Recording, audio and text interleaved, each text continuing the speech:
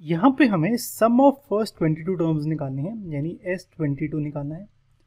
D की value और twenty second term given है वन फोर्टी नाइन यानी मुझे डी की value seven A twenty two की value one forty nine given है।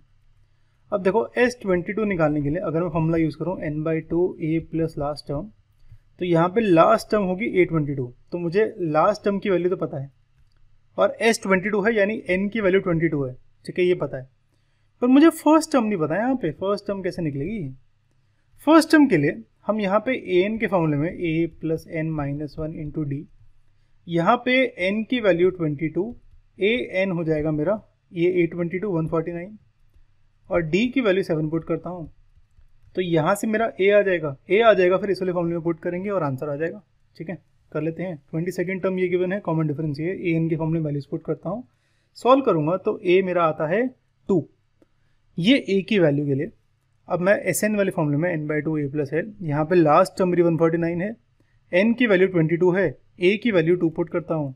तो इसको सॉल्व करें अगर हम तो ये आता है वन डबल सिक्स वन तो मेरा सम ये आ गया।